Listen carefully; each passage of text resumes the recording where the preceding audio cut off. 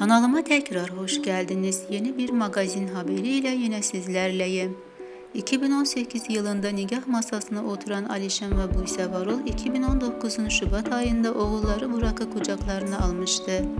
Ünlü çiftin ikinci bebekleri Eliz de geçtiğimiz Şubat ayında dünyaya gelmişti. Son günlerde sık sık boşanma haberiyle gündeme gelen Alişan suskunluğunu bozdu.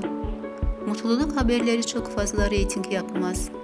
Ayrılıyorlar, boşanıyorlar haberleri yapıyorlar o yüzden. İnanın dün sabah 20 tane boşanma haberi yapmışlar. Buse üçüncü çocuğu istiyor, çok fazla istiyor. Ben şu an düşünmüyorum. Biraz çocuklarımızın büyüdüğünü göreyim ondan sonra ifadelerini kullandı. Buse ve Alişan neden kavga eder? Birbirinizi kıskanır mısınız? Buse dizide öpüşse ne dersiniz sorusunu da yanıtlayan Alişan, herkesin kriteri var. Buse dizilerde biriyle öpüşseydi benim karım olamazdı dedi. Değerli izleyiciler videomu beğenmeyi, yorum yapmayı ve kanalıma abone olup bildirim butonunu açık tutmayı ihmal etmeyin lütfen. Bir sonraki videolarda görüşmek üzere, hoşçakalın. Size iyi seyirler.